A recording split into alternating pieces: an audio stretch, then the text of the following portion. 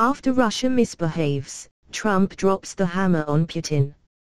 Trump's relationship with Russia has taken center stage since his election, but for all the wrong reasons. The left keep parroting the baseless claim that Russia hacked our election while providing no evidence to back it up.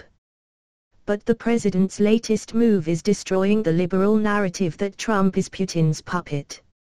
In reality it's the Democrats who have been Russia's plaything. Back in 2014, under Obama's watch, Russia annexed Crimea from Ukraine.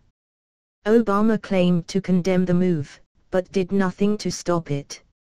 Russia still considers Crimea to be theirs, and recently opened fire on Ukrainian boats near Crimea. They then seized the Ukrainian boats and their crews.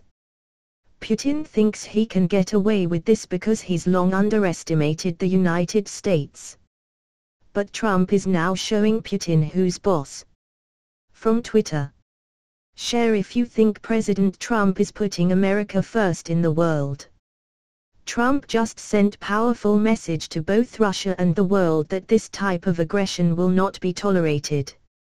Russia has stated that five of the 24 Ukrainian sailors who were captured will be imprisoned for two months, and Putin has laid all the blame for the incident at Ukraine's feet but Ukraine has insisted that Russia instigated the incident, and have denied Putin's claims that they were in Crimean waters illegally.